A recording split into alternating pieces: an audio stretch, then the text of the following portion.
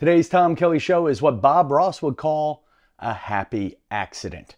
Uh, I pontificate about life, talk about getting back to the fun, and then in the middle, I pick up two 70 something year old bikers on the side of Ocean Parkway on Long Island, and I get some wisdom. So deal with some of the audio issues, it's worth it. Uh, but this is one of those shows where I do what I do best. I start pontificating and then I accidentally take you on an adventure. Let's start that now. The Tom Kelly Show. Everybody, I want you to go to the Tom Kelly Show. I want you all to know about the Tom Kelly Show. Content warning. Keep that money coming. Keep Alert. that money. Auld Lang Syne, my dear. You are experiencing the Tom Kelly Show. I am driving down uh, very slowly at uh, literally coming up on Fire Island National Seashore, Robert Moses uh, State Park, uh, 1 in the afternoon, January 2nd. Um, Happy New Year. Happy New Year. I'm in a mood. Uh, I'm coming out of the holiday depression, yeah, uh, or holiday emotions, and I feel free. I feel free. Um, and I'm rambling about what the show's about because uh, I did one take of the show already, and it was pretty heavy. It was me evaluating 2023 and 2024, and and honestly, uh, for those of you new to the show, I'm a good human being. I'm a comedian. I think that's the best skill I have on this podcast is I'm your friend who's figuring shit out too. And that's who Tom Kelly is. Uh, I want to offer a couple of quick condolences. I, I, I don't know if I've done them on air. I know I've done them in the secret Tom Kelly Show Facebook fan group. Uh, but quick condolences to Diana, Diana, whose husband Peter passed away. Uh, quick condolences to Marianne Stell Magic, whose sister passed away. And uh, I met her sister at uh, Uncle Vinnie's Comedy Club. Uh, and it was a fun night. Uh, crazy people. End of story. Uh, let's face it, our friend Marianne, who is the den mother of the fans here, uh, she's a crazy human being. And the one thing I do remember about her sister, I don't even remember her name, uh, but I do remember how much she, oh, there's a deer. I'm driving and there's a deer. And what I do remember about Marianne's sister was Marianne's sister appreciated Marianne's insanity. Uh, you know, whereas my parents and brothers and uh, my brother and other loved ones loved me for my insanity, uh, but they don't always play ball. And anyway, I'm sorry for your loss. And I want to thank you for sharing your loss because at the end of the year, and does anybody else get this way uh, at the end of the year?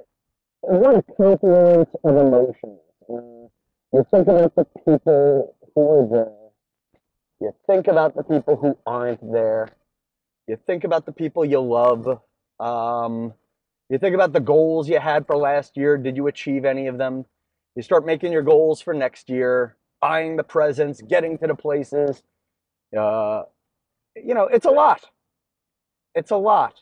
And uh, not to get emo, but, you know, I, I don't. What was nice about Marianne and Diane sharing their drama is I don't want to say, oh my God, at least my year could be worse. That's such a depressing way to say it, but it, it was a reminder to focus on what you have. And honestly, even with that, I was kind of a little meh for the year.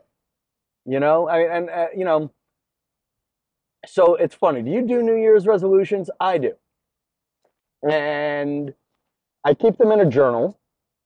And I came to the realization this year that uh, oh, I came to the realization over the years that let's make it 2020. I did my resolutions, or 2021, I did my resolutions. And then whatever it was, I looked at the year before And then I looked at a few years before that, and it's kind of like the old joke. It was the same crap. You know, it was all the same resolutions. I don't know what, I don't know what the deal is. Should you have a vision board with crazy dreams? Because at least that pulls you towards things. Um, the latest thing I heard in church from whoever the 18 year old pastor was of the week was if you don't live life with conviction, you will live it by convenience. How about that for a heavy slogan? Uh, and it is. If you don't like have the, you know, and now some will say it has to be religious conviction. Uh, some of it'll be what's your why? What's your purpose? I don't know. I don't have those answers for you today, friends. But uh, I, I know I have one goal for the year get back to the fun. Get back to the silly things. Get back to the comedy. Enjoy getting back to the basics.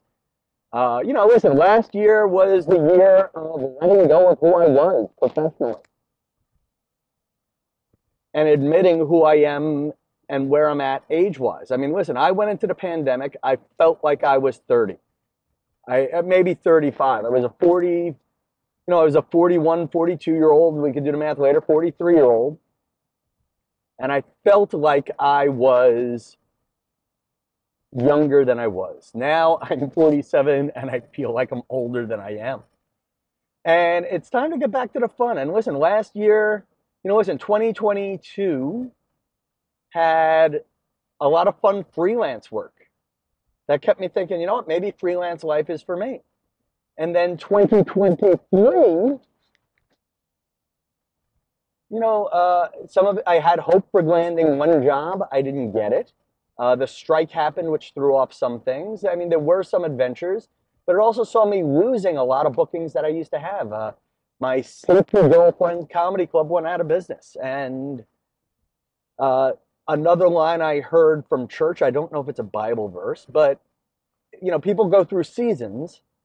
And I always hated it in real life. And, uh, you know, 2023 was my fall. And the religious analogy that was used for me was you have to let the leaves change color, fall to the ground, and then the leaves decompose and become the fertilizer for the tree for the next spring. Now, what's also not in that analogy is when's your winter? I don't know if I have the example yet, but I'm learning how to let go in 2023, and 2024 will be getting back to the front. What am I letting go of? Resentment. I don't know how to do that yet. Uh, what I got from Abraham Hicks was she's a real vision boardy person. You know, she was on Oprah. She's about manifesting and vision for your life, blah, blah, blah.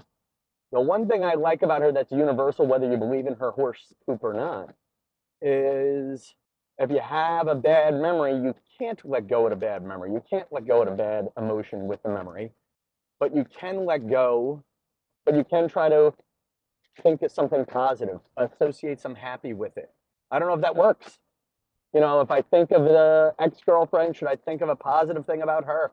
If you think of an ex, uh, how somebody hurt your feelings, do you need to think of how somebody made you happy? I mean, the one thing these vision board people tell you is if you want to live a dream, if you want to have a goal, you have to imagine how you what you look like and how you would feel if you have that goal come true.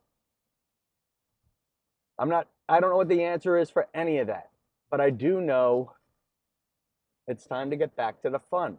Ooh, I'm going to stop the, oh, you know what? Maybe I'm not going to. Let me see if I can turn on the.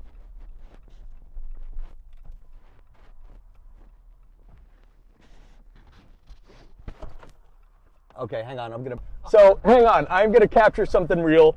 I saw two bikers. So, minute 15 into the show, I'll send these guys the link. 15 minutes into the podcast, I saw two guys pulled over trying to fix a bike. I have a bike rack on the back of my car. And I said, hey guys, you want me to drive you back to mainland? And here we are. I, what are your names again? Manny's one of you. Manny and Dennis. Manny and Dennis. And they're in their 70s and they're biking on a day when it's uh, 39 degrees out. What, and we were just saying that bikers, anybody I know who's a biker, has gone through at least one major life transition. Uh, and you were just saying what? You're 79 and breaking up with a girl? Okay, I'm 75, just broke up with a girl after four years. Turned out she was a narcissist. And we went right through the love bombing stage. No, wait. What's up? Wait, hold on. I I barely know what love bombing is. What's uh, love bombing? I didn't know any of this stuff. And at my age, all of a sudden, people, yeah, are telling me, yeah, she was a narcissist. What's love bombing? What's love bombing? I love you. Please don't ever leave me. I'm very insecure. This was right off the bat, the first two weeks. Okay. I'm hooked. I'm Okay. I'm never gonna leave you, I promise. You know, Okay. and she did everything to encourage the relationship. I'm reading books about how to have a relationship. I haven't dated anyone in 17 years. Wow. Okay, great. You know, Right. forgot how to kiss and how to be intimate. So we had fun. You had Uh, fun, and then what? She tried. How did you find out she was a narcissist? I found out at the end. Uh, Well, I guess that's how it always end- goes. right. At the end, all of a sudden, out of clear blue, she discards me. I said, What? What do you mean? After four years? I thought we were going to get married. You wanted to marry me. And I changed my mind. And that's what they do. Uh, Okay. They, they Can, play the game. can I ask you a real question? A heavy question. So I'm 47, Yeah. Single. yeah. And whenever I meet someone and it doesn't work out, I go through this whole, oh my God, I'm going to die alone. Uh, or I get very depressed without getting too into which it. is normal. You were single for 17 years. No, she like. was. She 17 was. years. Got a divorce and was single for 17 years. Never dated anybody. What? Why not? So Okay. that was part of the hook. How I do you get? sorry- How do you get over it uh, at, at 75? therapy? Are you? I, I just ended therapy. Actually, it's a, in two days. It'll be one year that we broke up, and I've been in therapy for probably almost eight months of the last 12 months that we broke up. Oh, so like it's funny. I'm in therapy. I'm now on my second therapist. There's a few Oh. extra issues. Uh, I'm back to my childhood therapist. Yeah, that's they all go back to the childhood. Did you uh did you did you have an aha moment that made you end therapy? What was your aha moment? You just felt better or I, we would come. I was coming to the one year anniversary, and I said, you know what, New Year, I have to move on, and I can't see her anymore. And unfortunately, we, we bike, we kayak, uh, Oh, so she did the hobbies with you. every single one of them, and everything out here. I'm always seeing her at one of the events, pickleball. She was on my Oh, pickleball see And I and I, I bought her out. I gave her the money back and said, I, "You can't play pickleball. I can't see you every week." that's interesting. See, I have trouble with that. That's why I generally date far from home. Uh Yeah, but the long distance relationship Is is that tough what they call geographically undesirable? Yes. Oh my God, the two of you are amazing. Yeah. The two of you are using all these kids, teenage girls use. Uh, Well, I went through my teens, remember? Okay. I'm yeah. a weirdo. I've been married 51 years. And you're still together. We're still together. Does your wife do the crazy things you do? No, No. no. We Now give they- each other space. We've always done that. Uh, we give each other space. She has her activities. I have mine. It's been that way probably since the beginning. I was a skier. She wasn't. I was outdoors. She let, her idea of uh, camping is that they don't turn over the, uh, they don't uh, lower the uh, blankets for at night in the hotel. Hold that. That's for you. Keep talking. Okay, but really. So, uh, So you're- 51 years. So you're 51 years, but with now you spent 51 years with a woman who your hobbies, I would argue, are incompatible. Is that fair? Not incompatible. No, no. Uh, just Different. different. Okay. I don't object to anything she does. She doesn't object. She gives me my time as much as I need. I give her her time as much as she wants. But we have dinner together every night. Uh, well, obviously when I was working, we didn't have breakfast together, but we have dinner every night together. So let- let's let's focus on the dysfunctional one of the two. Uh, my my new friend Dennis, who might be me. You might be me with a better bike. Uh, by the way, uh, one of our listeners, Mark Epstein, owns a bike shop in uh, Ann Arbor. Uh, it's a two carbon bikes, Mark. I need one. We'll talk later. But back to us. What is your secret to getting over? Is it just a decision? Like, are you just Uh. deciding to get over her and it's happening? Uh, how do I explain it? See, Because you right did the work, you did the work, you did therapy. Right, and the therapy, you know what? It's you know, it, you fall in love with somebody. I truly love this, and I felt this was the one I was going to marry her. She felt the same way, but this was all part of the psychological part of being a narcissist. When the gaslighting stage started, that's stage two. That's when they start picking on you. You know what? I don't like the shirt you're wearing. And then it makes you insecure. Okay, I'll go change it. And this was the cycle. She was playing with my head, making me very insecure, then reeling me back in and getting control of my brain and my heart and confusing me. I, I always thought it was my fault. There was something wrong with me. And that's what they do. It's all a pattern. I've read so many books about this, and it's textbook exactly what she did. And it stems from childhood. One of her parents was a narcissist, and she inherited. it. So is your secret to getting over her realizing she is a narcissist? Or is Well, it a y- yes. decision you're making about uh, yourself? That's a good question. I didn't know what a narcissist was until I was in therapy, and then the person. Oh, and then turned out that we were going to the same therapist. I didn't even oh know Oh my gosh! And then the therapist, and that's and the, the therapist also said, "What's her name?" And I said her name, and she's like, "I can't believe it. I'm seeing her also." And He told you that, or she, Yes, he or she, she told told me. Yeah, she told me. I'm seeing her. I can't believe it. And I told her to leave you because she was a narcissist and she was destroying your life. Oh, and so she told me, you have to get away from that girl, turn around and run and forget about her. But it's hard to forget about someone after four years at my age. It's, uh, uh, or at any age. I have enough trouble after four dates. I'm still obsessing over some people. But wait, wait, but hang on. Are you? Do you resent the therapist for telling the narcissist to Oh, break not up with at you? all. Not no. at all. No, she gave me the best advice. I didn't know that there was something wrong with her. That she's a narcissist. It's a personality disorder, and you know the abuse of manipulation, that tactics that she used. They have no feelings. They don't have empathy. And I always questioned her and said, "How come you don't get upset? How come you don't cry? Your cat just died after 18 years, and you're not even upset." I said, "There's something wrong here. You got to open up."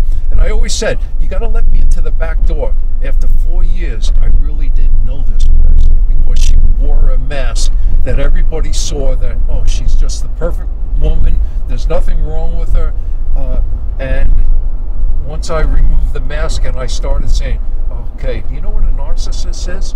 And then sh- once you identify and accuse her of being a narcissist, that's when she goes in denial and she goes wacky. Get away from me.